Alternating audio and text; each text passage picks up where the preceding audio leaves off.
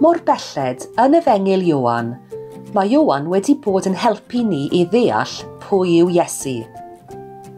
Rhai o'r ffyrdd mae wedi bod yn gwneud hyn yw drwy sôn am y gwirthiau wnaeth Iesu, a rhannu gyda ni beth ddywedodd Iesu am ei hun. Wythnos diwetha, dywedodd Iesu Mae fi yw goleini'r byd. Yn y stori heddi, yn Ioan 9, mae Iesu yn gwneud gwirth arall i ddangos i bawb mae ef yw gwir o leini'r byd.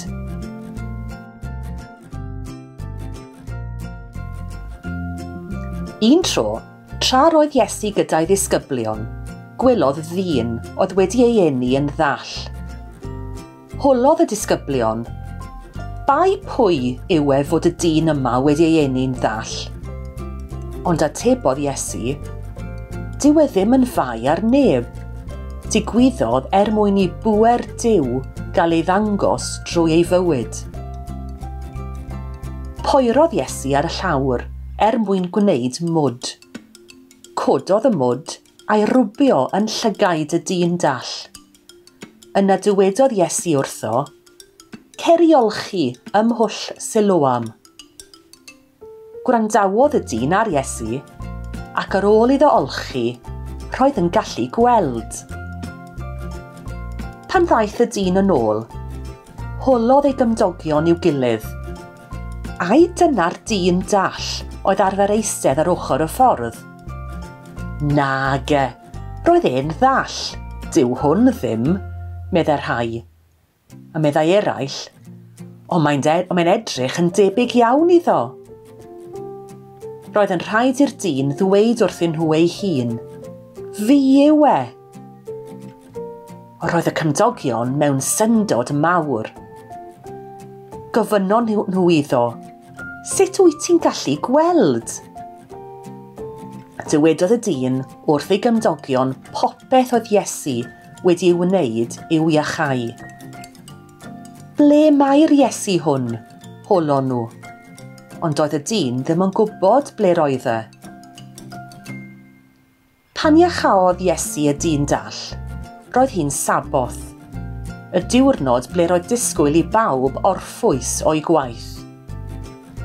Roedd rhai yn meddwl fod Iesu yn torri'r gyfraith pan wnaeth fod a'i roi ar lygaid y dyn roedden nhw yn cyfru hynny fel gwaith hyd yn oed. Felly eithant ar dyn at y phariseaid, sef y dynion crefyddol oedd yn gwybod lot am y gyfraith. Gofynodd y phariseaid lawer o gwestiynau i'r dyn, ac atebodd y dyn, wel rhoddodd glau ar fy llygaid. Es i olchi, a nawr rwy'n gweld – ond doedden nhw methu credu ei fod arfer bod yn ddall.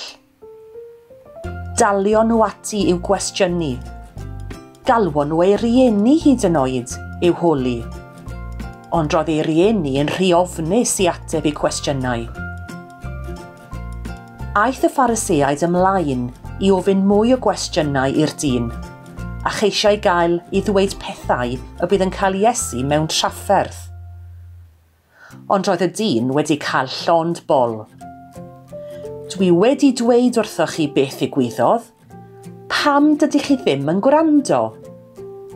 Mae'r dyn Iesu yma wedi agor fy llygaid i. Er i mi gael fy ngeni yn ddall, mae'n rhaid ei fod wedi dod oddi wrth ddew. Dim ond dew all wneud rhywbeth mor arbennig a hyn. Roedd y phariseaid yn flin iawn pan ddywedodd y dyn hyn. Gan nad oedden nhw eisiau credu, mae Iesu oedd mab Dyw. Felly taflon nhw'r dyn allan. Clywodd Iesu am yr hyn a ddigwyddodd, a daeth o hyd i'r dyn oedd arfer bod yn ddall. Gofynodd iddo, wyt ti'n credu y mab y dyn? Pwy yw e. Dwi eisiau credu ynddo. Atebodd Iesu, rwy ti wedi ei weld e, ac mae'n siarad gyda ti. Waw! Rwy'n credu arglwydd, meddar dyn, ac addolodd Iesu. Iachaodd Iesu y dyn hwn, er mwyn iddo gael gweld, yn gyntaf yn gorfforol, ond yna er mwyn gweld mae Iesu yw y Myseia, sef achubwr y byd, a'i fod wedi dod i achub ei bobl. Ydych chi'n dechrau gweld pwy yw Iesu? Gweddiwch y bydd Iesu yn agor eich llygaid chi i weld ei fod wedi dod i'n hachub ni hefyd.